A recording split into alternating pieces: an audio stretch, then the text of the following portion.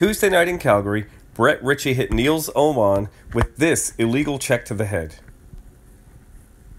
As the video shows, Åman was playing the puck on the boards, and he just turned to the middle of the ice when Ritchie approached and drove his elbow and shoulder into Åman's head.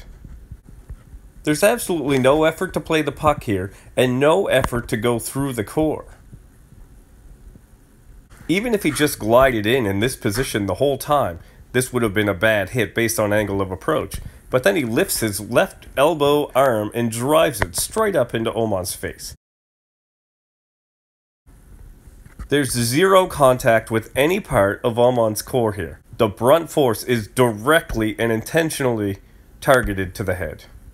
This is a non-hockey play that isn't malicious, putting it in my 3 to 5 game suspension category. Tough Call would suspend Brett Ritchie of the Calgary Flames five games for an illegal check to the head.